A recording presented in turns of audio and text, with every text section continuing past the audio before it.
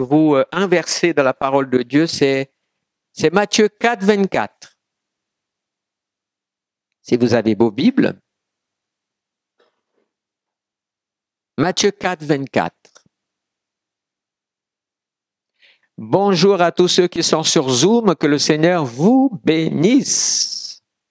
Alléluia. Il y en a qui partent en voyage de noces aujourd'hui, ils sont plus là. Si, si- si on leur demande de quelle église vous êtes, de quelle famille vous êtes, je crois qu'ils se souviennent même plus. Tellement ils sont maintenant dans leur... Ils ont bien raison. Alléluia.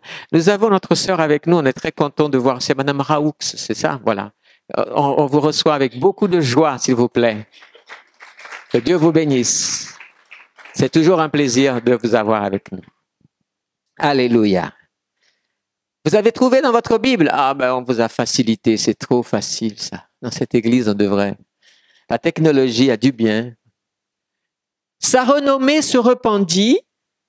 Ah ah ben on va lire ensemble, tiens, puisque vous l'avez tous devant les yeux dans votre Bible. On y va? Allez, 3, 4. Nommé se répandit dans toute la Syrie. On lui amenait tous ceux qui souffraient de maladies et de douleurs diverses, des démoniaques, des lunatiques, des paralytiques. Attention, et là on va le dire très fort. Et il les guérit. Amen. Et qui c'est le il? Vous êtes sûr? C'est pas un grand leader religieux? Vous êtes sûr, hein? Hein? Et il les. Alors vous pouvez le dire. Et Jésus. Comment c'est que c'est Jésus? On va utiliser tout simplement la vieille technique de du texte et du contexte.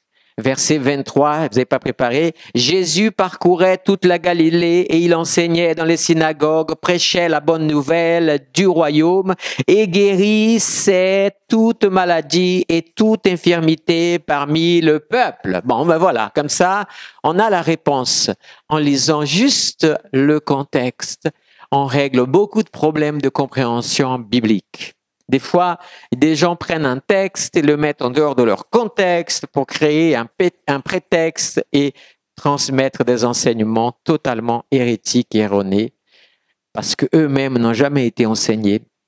Mais la Bible a des règles très simples et dans, cette, dans ces règles, qu'est-ce qu'on voit? C'est que c'est Jésus qui parcourait. Amen. Alors, sa renommée, sa renommée, c'est ça réputation. Ça m'avance pas beaucoup plus que ça. Bon, ok, sa renommée, sa réputation. Qu'est-ce que ça veut dire encore plus, sa renommée?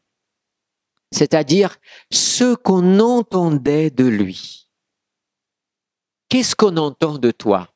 C'est la première chose qui m'a interpellé en lisant ce texte, c'est qu'est-ce qu'on dit de toi? Jésus, tiens, ça me fait rappeler à vendredi, hein, Jésus a posé la même la question, qu'est-ce qu'on dit de moi? Qui suis-je? Là, c'est qu'est-ce que les gens disaient de Jésus? Quand on voit ici sa renommée, voyez, sa renommée se répandit dans toute la Syrie. Waouh, la Syrie. C'est-à-dire vraiment à droite, complètement à côté ou plus haut encore euh, du Liban, frontière toujours avec euh, avec cette partie-là euh, d'Israël. Et sa réputation, c'est-à-dire ceux qui se parlaient de lui. Le mot renommé est en relation avec le mot oreille. Le mot renommé, c'est akou, qui a donné akouphène. Vous voyez, ça c'est du grec. Et donc c'est ce mot-là qui, qui se traduit dans notre langage d'aujourd'hui comme renommé, parce qu'en fait, nous, on a la renommée de ce que les gens entendent de nous. Amen. Ce que les gens entendent de nous. La renommée, donc, peut être vraie comme elle peut être fausse. Tout dépend de qui parle de vous. Mais tout dépend aussi de ce que vous donnez, parce qu'il n'y a jamais de feu sans... C'est l'inverse. Il n'y a jamais de fumée sans feu. C'est plutôt ça, non? Mais oui, sa renommée apparemment était bonne, puisque tout le monde venait le voir. Et on l'amenait des gens, et on amenait des gens. Et là, on avait, regardez un petit peu les catégories des gens qu'on amenait. Il est dit qu'on lui amenait ceux qui souffraient de maladies. Le mot souffrance ici, il y a des, tous les mots ne m'ont pas interpellé, mais des fois, quand je prépare un message, des fois, je suis vraiment tenté à aller analyser un mot euh, parce qu'il insiste. Alors moi, j'obéis tout simplement. Et le mot souffrance, c'est un mot qui veut dire tomber en lambeaux, tomber en morceaux. C'est, c'est-à-dire que je m'écroule en morceaux. Alors, ce qui est intéressant, c'est que ce mot ne dit pas simplement, parce que c'est la différence de l'hébreu comme du grec, c'est que la traduction est parfois beaucoup plus complexe, beaucoup plus élargie que notre, nos, langues qui sont des dérivés, bien sûr. Tomber au lambeau, donc, quelle est la solution? Toujours dans le même sens du mot, c'est se tenir autour, encercler, unir, être serré. Et donc, vous comprenez l'image ou pas? quelque chose est debout. Et tout d'un coup, il commence à se fissurer et ça va tomber. Et donc, qu'est-ce qui se passe? Les autres voient, ils accourent, ils se mettent autour, ils serrent. Et là, pour empêcher qu'il s'écroule en morceaux. Ça vous parle ou pas? Ça nous parle de parfois ce qu'on devrait faire dans la foi. Quand on voit quelqu'un qui commence à trembler sur les bases et qui va tomber en morceaux, on ne, on, ne vient pas pour le sauver, on vient pour l'entourer, pour le soutenir. Et ça, ça va beaucoup plus loin, mais c'est pas le but du message de toute façon, mais, mais je voulais quand même souligner cela, c'est encercler pour tenir, pour fortifier. Quand un bâtiment est sur le point de s'écrouler, qu'est-ce qu'on fait? On va vers les structures qui soutiennent ce bâtiment et on essaye vite de la fortifier parce que si on arrive à les fortifier, alors la bâtisse tiendra. Parce que c'est, tout dépend de ce qui soutient. Ça c'est vu, on connaît ça depuis très longtemps. Voyons à peu près depuis quand la dernière fois on a entendu parler quelque chose dans ce sens que la Bible nous révèle. Ça vous dit ça se passe dans le livre des juges. Non, juge, j'ai dit, pas, Josué, juge. Juge, ça vous dit pas? Samson. Alors, Samson, c'est c'est beaucoup de temps avant. Si je compte, euh, euh, selon la Bible, allez, on va dire 200 euh, ans au moins. Donc, ça veut dire mi, allez, c'est large. Hein, il, y a des, une marge d'erreur. Je fais une marge d'erreur assez longue, assez grande. 1200, grosso modo, avant Jésus-Christ, plus 2000, ça fait déjà 3200 ans à peu près. Ça fait beaucoup. Eh bien, on connaissait déjà cette réalité-là. Samson, donc, le juge d'Israël, celui qui était beau gosse, musclé, chevelu, la totale, quoi il plaisait à toutes les filles. Les filles couraient après lui et lui courait après les filles. En plus, il était tellement fort, il prenait un lion et voilà, il le déchirait au milieu, même pas mal, quoi. Il prenait 300. Je sais pas, d'après vous, qu'est-ce qui est plus difficile? Euh, tuer un lion par la gueule en le déchirant ou attraper 300 renards? Attraper 300 renards. Un lion, ça reste un lion. tu le laisses venir quand il vient, c'est toi qui. Mais attraper 300, il a attrapé 300 renards et, il a mis le feu dans tout. Il a fait plein de choses. Il a fait plein de choses, plein de choses. Donc ce garçon, il était magnifique, mais parce qu'il avait l'onction de Dieu en lui. Amen. Et puis après, il a fait comme beaucoup de notre génération. Il a commencé à jouer à je sers le Seigneur, mais j'aime bien être dans le monde aussi et je vais m'amuser dans le monde et puis je viens et je sers le Seigneur et puis je suis dans le monde et puis à un moment donné, il a révélé le secret de Dieu parce qu'il s'est fait piéger.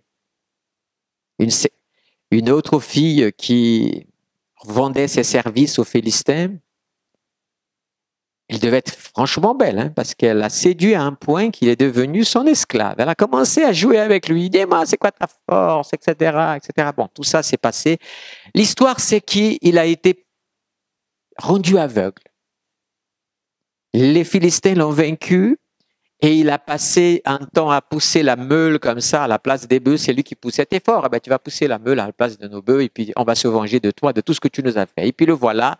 Et puis vient le moment de la repentance. Ce qui est bien avec Dieu, c'est que quand il y a la repentance, il y a aussi la grâce qui revient. Amen. Si tu as commis des erreurs, si tu es réfugié dans le monde, repens-toi aujourd'hui et le Seigneur te ramène à sa grâce. Mais vous voyez, Samson, qu'est-ce qu'il a fait? Je vais illustrer, mais ne, ne, me regardez pas comme Samson, s'il vous plaît. vous voyez? Au moment où c'était la fête du dieu Dagon, en fait, il suffisait juste de mettre un R. Hein. On savait de qui s'agit, c'est Dragon, mais bon, c'est Dagon. C'est le dieu des, des Philistins. D'ailleurs, tiens, on parle des Philistins, il s'agit des Palestiniens. C'est la même chose. Les Philistins, c'est les Palestiniens. Pour ceux qui ne le savent pas, c'est simplement, euh, voilà. Et donc, qu'est-ce qui se passe? Je vous rappelle que, donc, on a dit, on va s'amuser avec notre ennemi pour montrer, je vous ai parlé ça vendredi, et qu'on aimait bien, quand on, on avait la victoire, de exposer exposer celui qu'on a vécu à la, regardez, notre Dieu l'a vaincu, regardez, c'est notre esclave. Et, là, Samson, il a trouvé, il a dit, euh, d'accord, vous allez m'emmener. Il a, d'abord, il s'était réconcilié avec Dieu. Il a dit, Seigneur, donne-moi encore une dernière chance. Et je veux, je veux faire ce pourquoi tu m'as appelé, c'est-à-dire libérer mon peuple de l'esclavage des Philistins. Alors, il a dit au gars qui était à côté de lui, il a dit, mets-moi attache-moi dans les colonnes qui soutiennent tout le temple de Dagon. Voyez la stratégie? La colonne qui tient le temple de Dagon. Et là, ok, on l'a mis là. Comme j'ai pas assez de taille, Samson lui il était gros, il pouvait aller toucher son bras là jusque là. Un peu d'exagération. Et quand il était là-bas, il a dit c'est bon, c'était sûr que c'est celle qui? Ah oui oui, non si jamais le gars il était tellement aveugle, il n'a pas compris la chose quoi. Et, quand il a prié, Seigneur, tout le monde est là, oui, tout le monde est là. Il y a tous les rois, les cinq princes des Philistins sont venus de partout, de, de, ils sont là. Il y a une multitude de gens. Ok, il a dit, Seigneur, je sais que j'ai péché contre toi, mais je sais que tu m'as donné une mission et j'ai failli échouer, mais tu me donnes une chance. Maintenant, s'il te plaît, Seigneur, donne-moi la force à nouveau de détruire et de vaincre ce peuple afin de nous libérer, de libérer mon peuple de l'esclavage. Et là, les deux colonnes qui soutenaient ont été brisées et tout le temple s'est écroulé. Est-ce que tu comprends que tu es une colonne dans le temple de Dieu? C'est dans le livre de l'Apocalypse. Est-ce que tu comprends que ta place dans l'église, c'est pas une place anodine? Tu es une colonne et tu as une colonne qui soutient quelque chose. Vous tous qui êtes ici, vous soutenez quelque chose.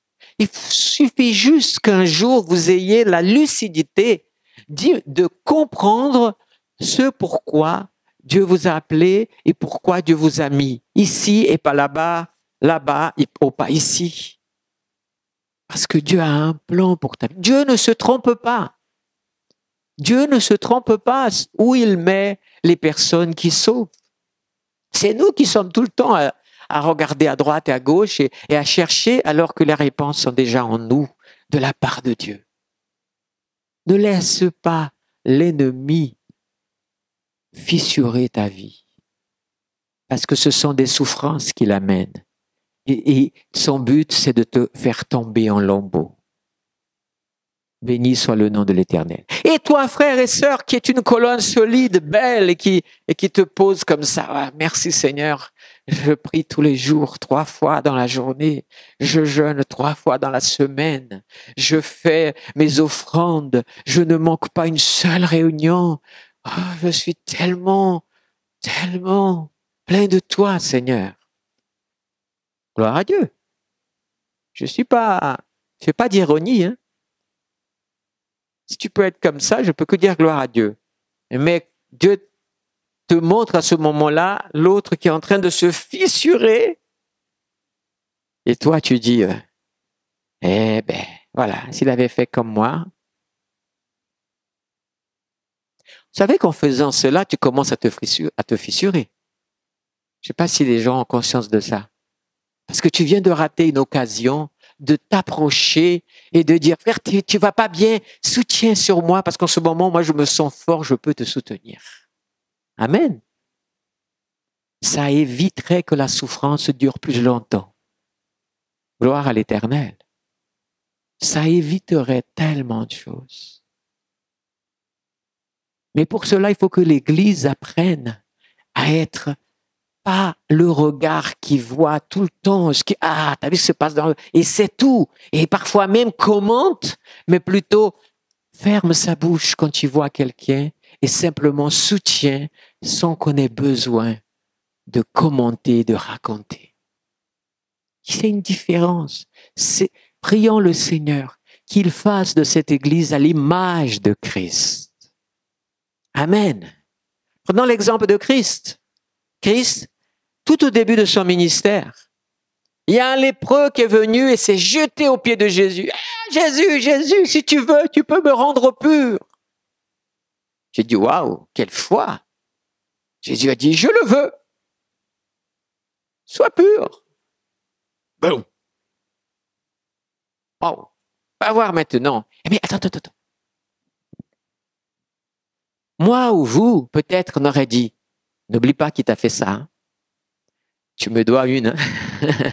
Je t'ai quand même guéri de ta lèpre, quoi. Tu étais un misérable, tu te souviendras de ça.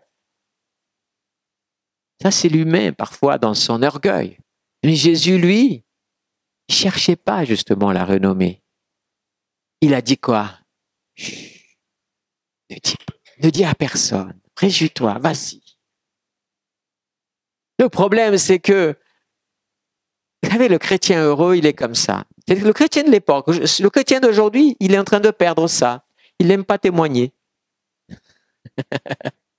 il a du mal à témoigner. Mais lui, qu'est-ce qu'il a fait? Il a témoigné partout. J'ai été guéri, j'étais, oh ouais, wow, oui, comment, qui, qui? Écoute, Jésus. Ah ouais. Et là, tout le monde a commencé à courir derrière Jésus cherchant Jésus, cherchant Jésus, parce qu'il est celui qui guérit les lépreux. Et tout d'un coup, il y a un gars qui était avant. Et tout d'un coup, il est là. Qu'est-ce qui s'est passé avec toi? Jésus. Wow. Un autre qui avant était. Et maintenant, il est. Oh. Oh, tu vois maintenant? Oui. Jésus. Jésus. Oh, d'accord. Un autre qui, euh, depuis que j'ai eu la Covid, je ne sens plus rien. Vous savez pas s'il n'y avait pas la Covid avant. On n'a pas enregistré à l'époque. Et maintenant, waouh, même la fleur artificielle, je suis capable de la sentir. C'est vraiment une guérison. Jésus. Jésus. Waouh. Et puis alors, celui qui était...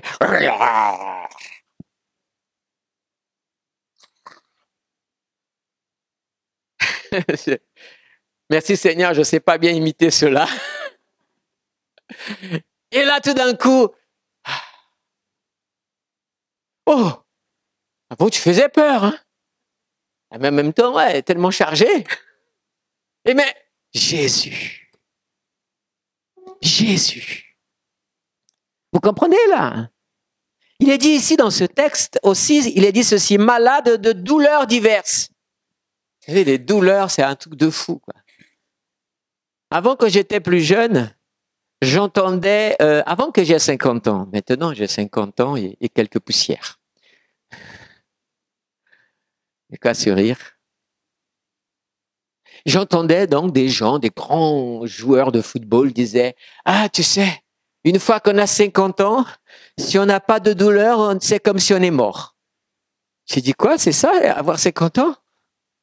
Ça me faisait pas envie. Et puis je suis arrivé à 50 ans et puis, eh bien, je comprends. Jésus, la plupart du temps, j'ai pas de douleur. Je me réjouis. si c'est, si pour eux c'est avoir des douleurs tout le temps, je comprends l'idée. Je bénis le Seigneur. Jésus. Mais les gens qui souffrent les douleurs, c'est tout ce qu'on n'aime pas. On n'est pas fait pour souffrir. Et donc, celui, j'ai mal au pied, j'ai mal à ceci. Les enfants, ils sont souriants, ils sont heureux et tout, mais dès qu'ils ont mal, ils deviennent insupportables. C'est pas leur faute, c'est la douleur. Il faut chercher où est la douleur chez l'enfant. Dès que vous réglez le problème de la douleur, ils sont à nouveau contents, ils partent en jouant, même si la larme, les yeux coulent encore une petite larme là, mais ils ont déjà le sourire. Et donc tous ceux qui souffraient de douleur, la douleur a aussi la douleur de l'âme, toutes les blessures de l'âme. Mais quand le Seigneur il libère tout, tout d'un coup, qui a fait ça? Jésus. Jésus. Qui t'a sauvé, Église? Qui t'a sauvé, Église? C'est vrai. Tu le dis ou pas de temps en temps? Est-ce que tu amènes sa renommée de ce qu'il a fait dans ta vie? Fais-le. Ne te tais pas sur ça. Il a fait quelque chose pour toi. Raconte-le. Alléluia. Qui t'a guéri de certaines de tes maladies, Église? Tout ça. On reçu des guérisons de Jésus. Tu l'as raconté à d'autres qui souffrent de la même chose. Parce que c'est quand même faux, quoi. Moi, j'ai, mal euh, à, une jambe et tout d'un coup, j'ai, mal à une jambe et toi, tu es guéri. Ah ouais, c'est, ah, je, tu sais, j'ai déjà eu cette douleur. C'est terrible. Je compatis avec toi. Hein. Ne compatiez pas. Prie. Tu sais, le Jésus qui m'a guéri, je peux prier pour toi. Tu acceptes que je prie? Prie. Puisqu'il t'a guéri. Jésus. Et quand tu as fini, et la personne saute comme un cabri heureux d'avoir été guéri, ne dis pas, n'oublie pas de raconter que c'est lui qui t'a guéri, hein. Je m'appelle Douglas 007. Non, c'est Jésus. Amen. Et donc il est dit que on lui a mené tous ceux qui souffraient de maladies, de douleurs diverses, des démoniaques, des lunatiques. Lunatique, c'est épileptique. OK? Dans le sens biblique, épilepsie. Voilà, il les a guéris aussi des paralytiques, c'est-à-dire que des gens qui sont paralysés, différents types de paralysie, et il les guérit. Alors ce matin, est-ce que Jésus-Christ est le même hier, aujourd'hui, éternellement? Est-ce que vous continuez à témoigner de sa vie dans votre vie? Est-ce que vous continuez à croire qu'il est le même qui guérit hier, aujourd'hui, éternellement. Amen. Est-ce que vous avez passé 40 jours de jeûne et prière depuis le 10 septembre avec une carte d'identité en disant je veux devenir comme Christ? Est-ce que vous avez progressé dans, cela? Est-ce que vous avez progressé dans l'identité avec Christ? Est-ce que vous commencez à sentir waouh, je me sens comme Jésus? L'orgueil au moins dans ma vie. Et ça commence par ça. Pas l'orgueil. Moi, Jésus n'avait pas. Mais vous voyez, je me sens comme Jésus. Et donc, ça veut dire quoi? Que tu dois avoir le courage de Jésus. Tu dois avoir aussi la renommée de Jésus. Tu dois parler comme Jésus. Oh, tu dois, ne te mets pas, des fois, des fois, on entend cette voix qui, tu dois aussi avoir la perfection de Jésus et tu es loin de l'avoir. Il dit, calme-toi, toi. Je suis en chemin. Amen. Et, t'as pas et ça ne te regarde pas. Amen. Le chrétien, le chrétien mature, c'est celui qui sait répondre aussi à toutes les tentations que le diable met dans son esprit. Il a du répondant. Aussi comme des jeunes parfois ont du répondant vers leurs parents, nous devons avoir du répondant vers les adversaires, l'adversaire de, Dieu. Parce que le Seigneur, quand il a été tenté, il a eu du répondant, mais il a répondu dans la parole. Amen. Gloire à l'Éternel. Alors, ce matin, j'aimerais inviter tous ceux qui sont ici, dans cette salle, à prendre un moment comme ça de prière en disant Seigneur, je viens, je, t'ai offert un sacrifice, j'ai prié, j'ai cherché, j'ai combattu parfois, j'ai réussi, parfois j'ai moins réussi, mais j'ai cherché le plus possible à te ressembler. Aujourd'hui, je veux unir ma foi à celle de ceux qui sont tout ici présents pour la guérison de ceux qui sont malades. Parce que Jésus-Christ est le même hier, aujourd'hui, éternellement. Amen. Alléluia. On peut baisser nos têtes et on peut tout simplement maintenant rester dans sa présence un moment et commencer à dire Seigneur, je veux te ressembler. Je veux aussi, Seigneur, porter ta renommée. Je veux que les gens puissent dire, waouh, lui, lui, c'est quelqu'un de bien. Elle, c'est quelqu'un de bien. Avant, il ou elle vivait dans les querelles, dans les conflits, dans les choses vraiment pas nettes. Mais aujourd'hui, je vois qu'il ou elle fuit ces complications. Et au contraire, même, il ou elle est devenu différent il apporte un plus à la vie des autres. Alléluia. Béni soit le nom de l'Éternel. Seigneur, nous voulons te ressembler, Seigneur. Nous voulons être comme toi, Seigneur. Nous voulons que ton esprit, Seigneur, remplisse notre cœur, remplisse notre vie. Que ton esprit, Seigneur, se saisisse de cette église et augmente la foi, la foi que le Saint-Esprit a mis en Jésus-Christ. Qu'elle soit la foi qui vienne habiter ton cœur aussi. Qu'elle soit la foi qui vienne changer ta vie aussi. Qu'elle soit la foi qui vienne apporter une véritable plus-value à ta vie en Christ. Alléluia. Seigneur, nous sommes en Christ parce que Jésus-Christ est le même hier, aujourd'hui, ne change pas. Il est le Seigneur de cette Église.